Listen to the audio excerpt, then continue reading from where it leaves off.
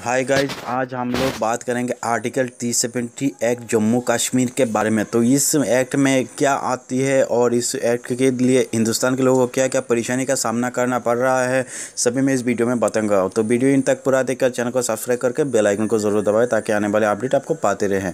दोस्तों article three जो act होता है वो इस एक्ट में बहुत सारी प्रावधान है जिसमें अगर आप जम्मू कश्मीर में रह, नहीं रहते, इंडिया में कहीं भी स्टेट में रहती है तो यहाँ पर जाके आप कहीं भी ज़मीन आप खरीद नहीं सकती। ये थ्री सेवेंटी एक्ट में आती है। उसके अलावा अगर कोई कश्मीरी वोमेन या वोमेन अगर हिंदुस्तान के कई भी स्टेट को किसी की इंसान के शादी कर लेंगे तो उसका, जो, या की जो नेशनलिटी हो ख़त्म हो जाएगी।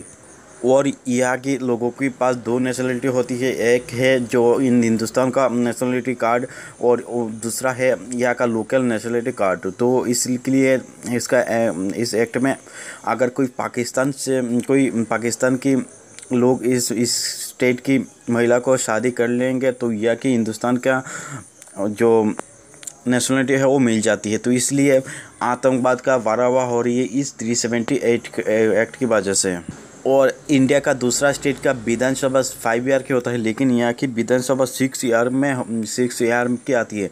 तो इस तरह बहुत सारे कानून है। आर्टिकल 370 एक्ट में, जिसमें लिए हिंदुस्तान को बहुत सारी परेशानियों का सामना करना पड़ रहा है और हिंदुस्तान का कई भी कानून इस स्टेट में इस स्टेट में लागू नहीं होता है। इस जम्मू कश्मीर में लागू नहीं, कोई भी कानून जिस, जो भी कानून है, वो ये जम्मू कश्मीर में लागू नहीं हो सकता। और यह कि जो झंडा है तो वो दो झंडा है एक कश्मीर का जम्मू कश्मीर का और दूसरा हिंदुस्तान का।